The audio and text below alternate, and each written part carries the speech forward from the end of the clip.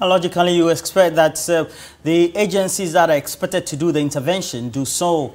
And so, the National Labour Commission is to meet the UTAG as well as the Fair Wages and Salaries Commission on Wednesday, January 12 for negotiations, all intended to address the current impasse.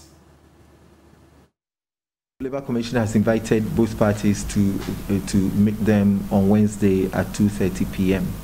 Yeah, so of course, um, UTAG uh, leadership should know this uh, that normally when when there is an uh, there's a strike of this nature, Labour Commission will invite both parties, and what would they do? They will listen to, to, to both parties, and then they would ask UTAG or the, the party that is on strike to call off their strike in order to return to the table, to the negotiation table, because according to the laws of this country, you cannot negotiate whilst you're on strike.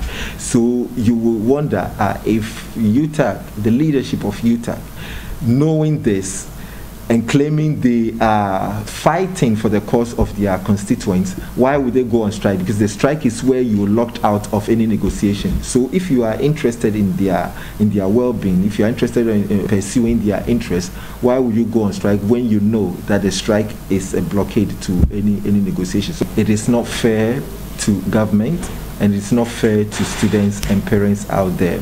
We concluded negotiations with, with UTAG on their conditions of service about three months ago, just three months ago, around October 6th or so.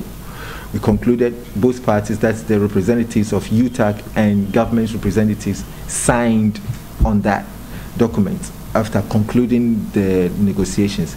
And UTAG went away with possibly the best conditions, their best conditions of service to date. Now, it is really surprising to hear that they've come out with um, uh, a communique in which they are mentioning worsening conditions of service. I mean, how do you um, sign an agreement on conditions of service which will make you worse? Who will ever agree to such a thing? But we signed uh, on conditions of service which made them better off than they've ever been in the history of the association. And now they're coming to say they are going on a strike based on that. Well, so we have to ask the question whether UTAG um, will try to answer that call from the Fair Wages and Salaries Commission, but also the Labour Commission.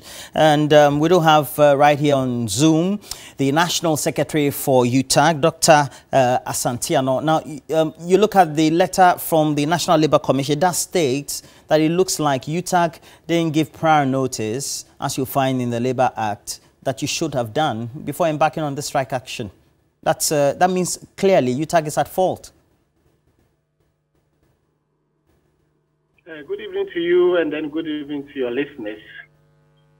Uh, that statement is not correct. Uh, I personally wrote letter on the 22nd of December and then we sent a copy and we use uh, three means of sending the copy to the Labor, National Labor Commission via post via email mm. and also delivery.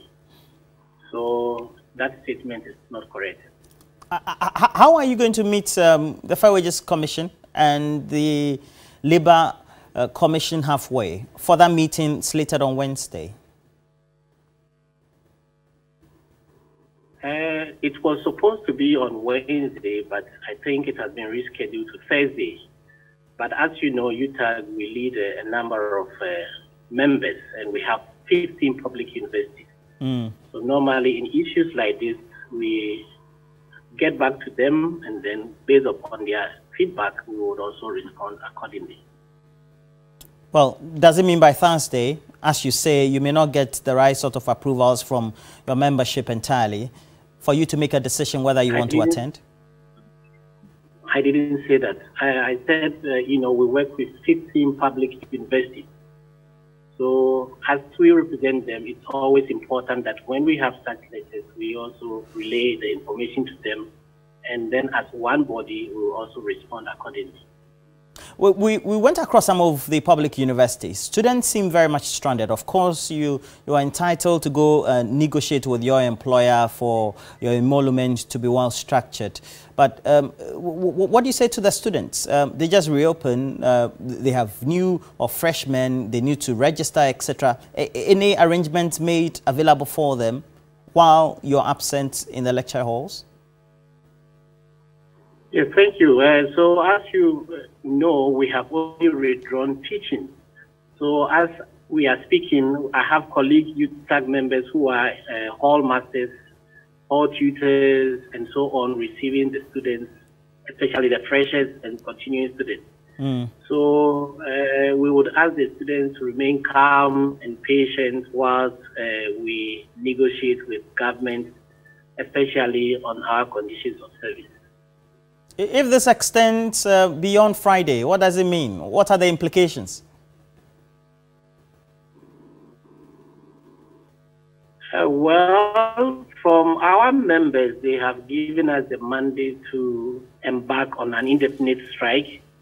And the reason is uh, very simple. I heard the earlier introduction you made.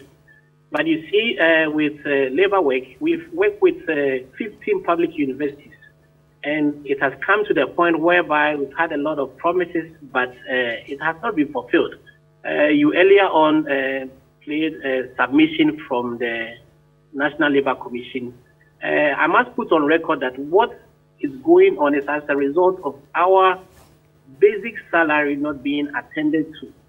There are minor interventions that government has done, but they usually tackle on the peripheral issues Mm. And the university teacher is saying that the main issue at hand is our basic salary because that is what we are going to go on pension on. Right. And nobody wants to teach for 20 years, 30 years, and then you retire and then you have nothing to write home about.